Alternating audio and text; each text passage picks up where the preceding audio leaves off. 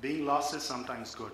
And uh, Paritosh, let me accept the challenge, what we were speaking uh, in a very subtle way. Uh, it's 2018. I think uh, we still are wrapped in terms of data issues, wrangling, data privacy, big data. The fact is, there is a lot of sophistication happening today in analytics, data science, AI. And progressive companies are doing everything to make what I say not AI first, but human first. So, over the next 10 15 minutes, what I would like to take is whole aspect about how organizations which are data driven are trying to really transform not only in a very subtle manner each and every function of their organization but in fact overall aspect about consumers suppliers and the overall humanity. The fact today i think when we talk about data driven organization there is one paraphrasing i would like to do. It's very important is many of the organization uh, during the conversations i've heard they saying and even the cxo say that we are data rich information poor insight starved. I'll repeat again data rich information poor insight starved. Can you help solve our problem what has changed in the last few years because of this whole digital detonation is can you help us take the decisions? And uh, somewhere, I think, as human beings, let me make it very provocative, we are predictably irrational. And sir, you referred in your early talk that today many of our decisions we take are all about our intuitions and gut. That's a fact. But this is where artificial intelligence, data science, analytics comes to the picture. Let me show you with some examples what it means. Well, I think uh, there's one fact I take this thing as very nicely that uh, last year I remember Paritosh coming and sticking to Reliance uh, when Mr. Ambani was there in NASSCOM NILF. He made a statement uh, in the opening session that data is the new oil. I don't know how was the response of the people, but the next day the stock market, the script of Reliance went up by 10%. So it's a fact today that data is a very strategic asset for any organization today and digital is the new currency. We are still kind of getting into that whole aspect. What's digital? It could be as naive as a Casio digital watch, or it could be as progressive as what's on this slide. It's all about transforming businesses, innovative product and services, and also about changing strategic and operational models. Eventually, that's been the holy grail of a very progressive organization who embrace data and digital. But as we always say, that data alone is dumb. We have seen that enough instances that organizations today are sitting on raw data, they're still figuring, figuring out the reference architecture, the models. I think what is the secret sauce is nothing but algorithms. Eventually, you are beating data, you're massaging data to make insights, decisions, intelligence within the organization. And this is where the aspect of how one organization differentiate from another comes into the picture. Well, some of these organizations, what you see on this slide, are no surprises. I think beyond, as we say, asset light digital organization, eventually each one of these organizations, while they are outpacing the competitive uh, growth within their segments, is an IP patented algorithm which is running for them. That's the fact today. Organizations today are nothing but, as the management guru Ram Charan says, the math houses. Eventually, that's what is happening today in the boardrooms. That there used to be a phase where the board members used to take decisions based on the P&L, the whole aspect about the financial prudence, discipline of the organizations. Today, algorithms are attempting to, attempting to take those decisions. And we are not far when we say that at some level, we are all at the cusp of algorithm economy. And this is where Paritosh, my challenge starts in terms of saying, look, it's already happening today. Think of the scenario as we trade scripts, stocks on a stock exchange. Algorithm economy takes into factors millions of algorithms by niche, boutique, startups, large players. Solving a business problem could be a supply chain, could be a talent acquisition, could be a customer kind of a churn problem, You go to that stock exchange or a marketplace of algorithm, buy that IP patented algorithm, run it, test it, make it a kind of a champion challenger model within your organization, and there you go. That scenario is not far off because eventually these algorithms are just going to make decisions very, very simpler within the organization. And this is where we say that somewhere in the boardrooms, somewhere within the organization, Mr. Algorithm will sit taking decisions on behalf of us, on behalf of the organization. But somewhere, for the naysayers, skeptics, there's always that feeling look, will it displace jobs? Will it result into a lot of productivity issues? I don't think so. And let me give an example what it means.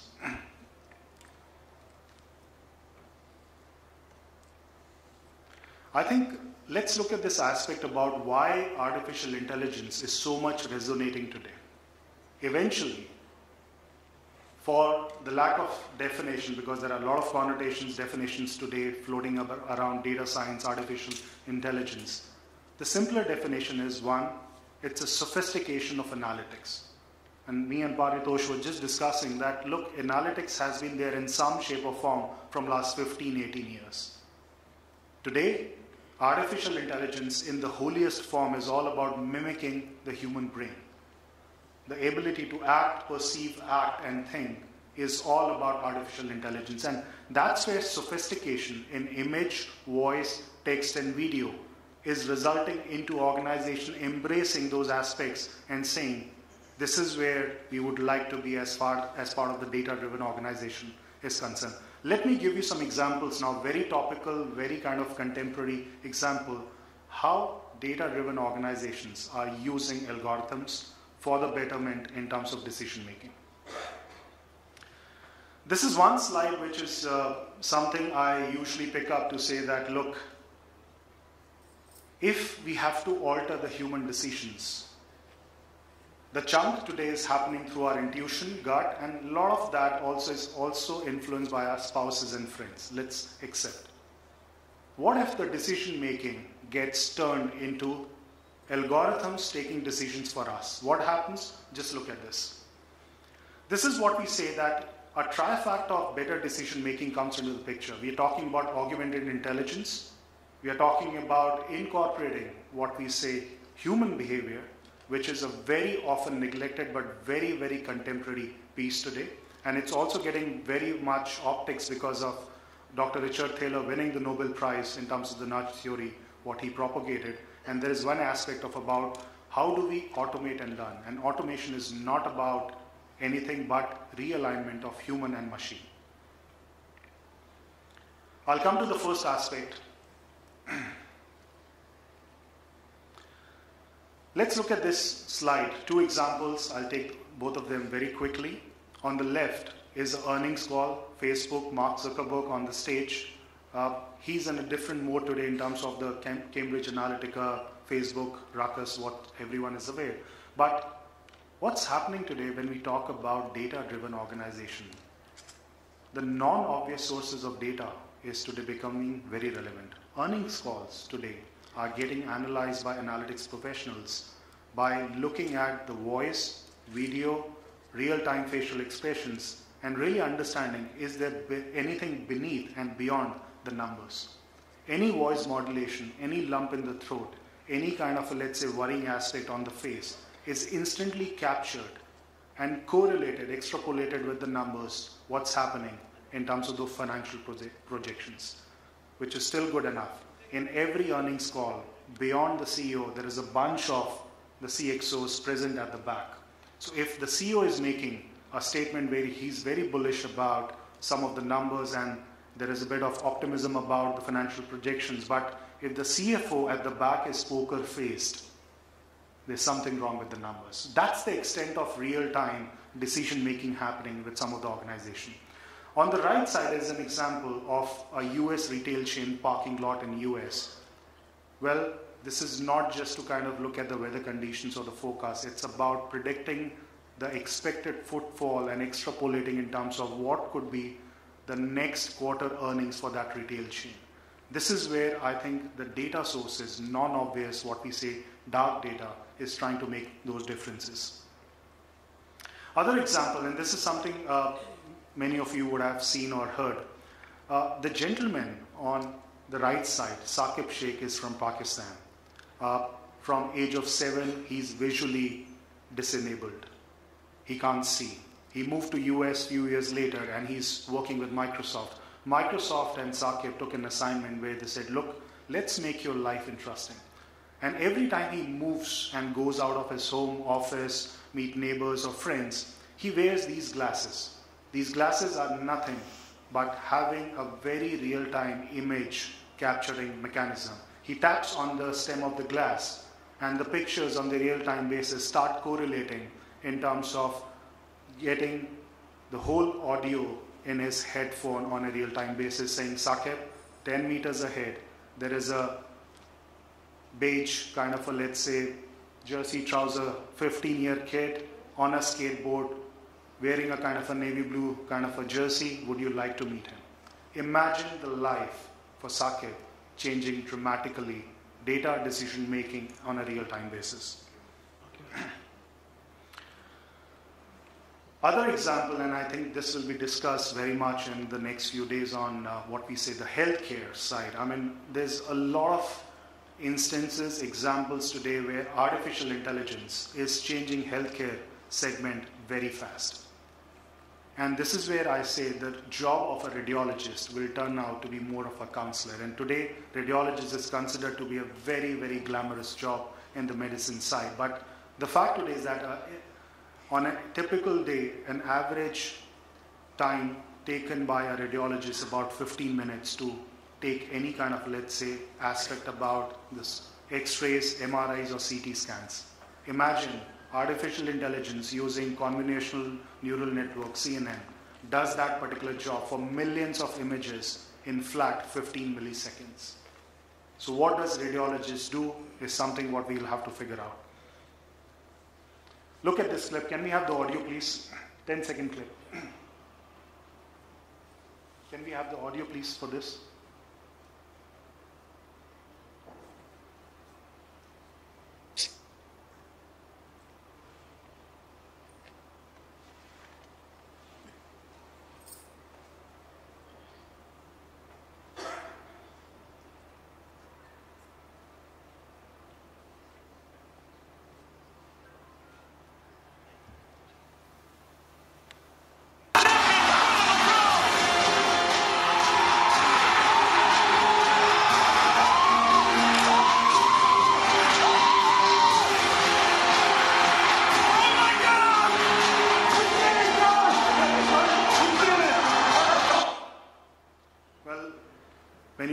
See that clip, but summation of this is this is a final match of a Super Bowl in US.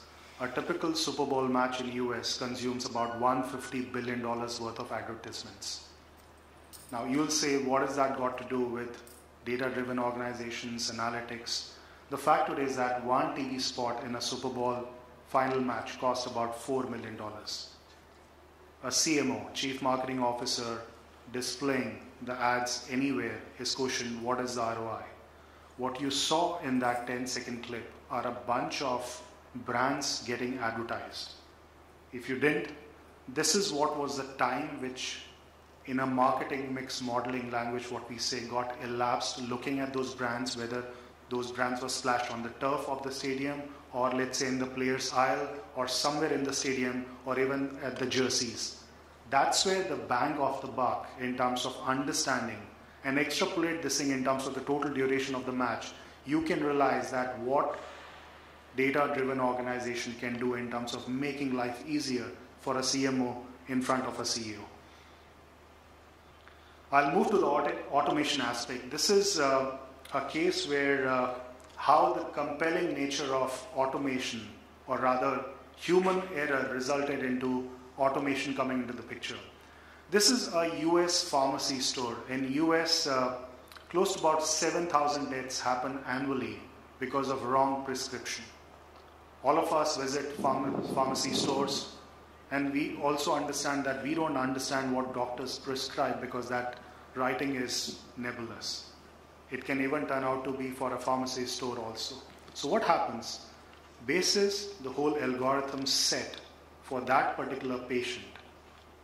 This machine works in terms of giving the right medicines, right prescription, going into the right counters, taking not only the current prescription but analyzing the historical symptoms, elements of that patient, and coming out with those prescription at 99.9% accuracy. And let's not forget, in US, which is still prevalent in India, any death happening because of wrong prescription goes into a big lawsuit. So this is where automation comes into the picture.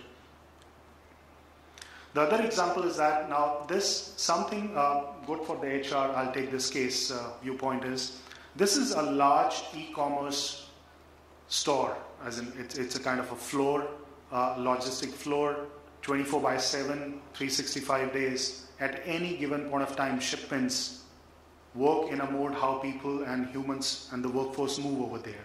Now, for anyone related out here, they'll say, okay, there are cameras over there, tens and thousands of cameras, and what are they doing? Capturing any infringement, any kind of, let's say, trespassing, security issues. That's fine, but the cameras are going beyond where HR heads are sitting and looking at what point of time, because of the facial expressions, the spot of what needs to be given. What is the fatigue level at any given point of time across that shop floor, and how we can incentivize that workforce. This is where decision making aspects, in terms of data getting captured and getting more non obvious from different sources, acts as, I would say, catalyst for decision making. I'll skip this example. Uh, this is about distracted driving, but I'll move to something which is very interesting today.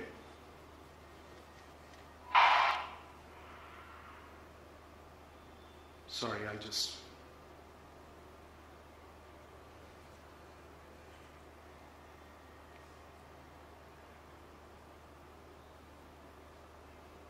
Let me talk about the third trifactor in terms of decision making. Okay, sorry.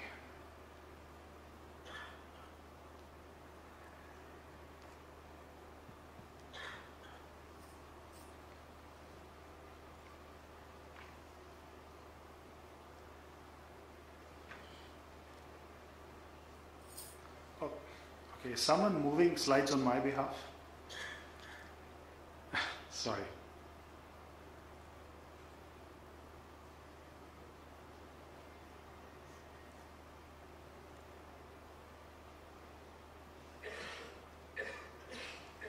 Okay, there you go. Human behavior. I think uh, we all like uh, rules, regulations, uh, those prompt uh, kind of uh, aspects about uh, that unless there is a rule, we won't kind of work.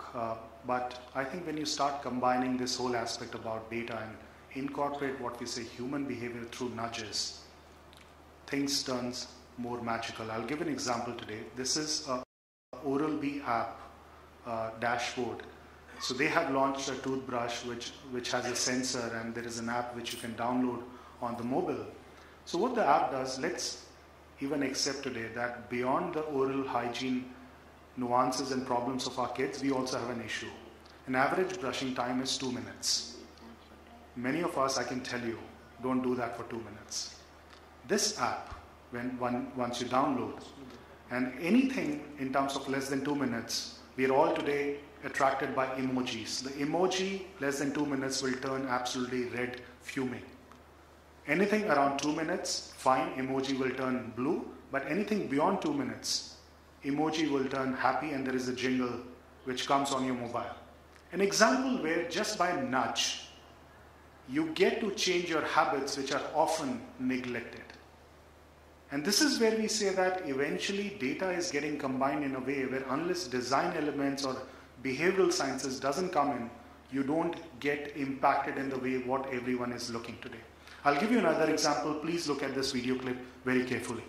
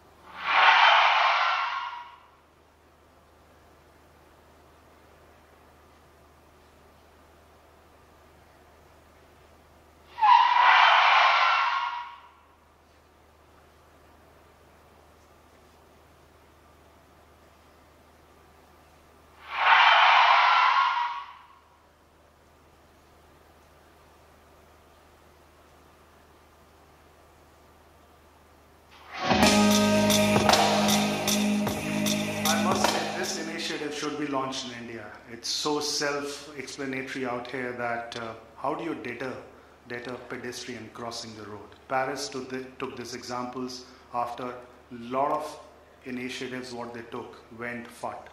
And then they realized, look, somewhere they need to analyze the data at the junctions where this is so recurring phenomena and use behavioral science aspects. And this is where the aspect becomes very clear that today the whole aspect for us is crossing the road, we don't care.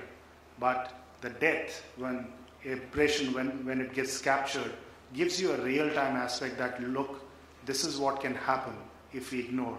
And this is where we say that eventually it's all about when we talk about data-driven decisions, how do you augment the intelligence? We are all talking about today learning, unlearning, and relearning aspect. That's truth today. The second aspect is that never send a human to do a machine job. Humans are meant for doing something productive.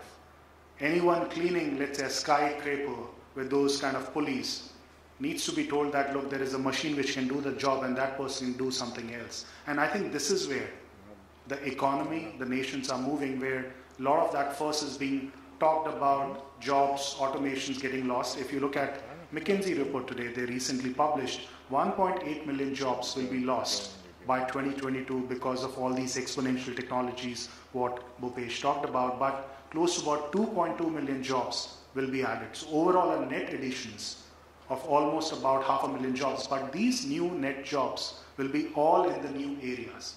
So this is where the differentiation in, and for the naysayers, I keep on saying, look, let's make the world human first and not AI first. Technology has always been enabler, and we've always trusted the way technology works, but who drive technology?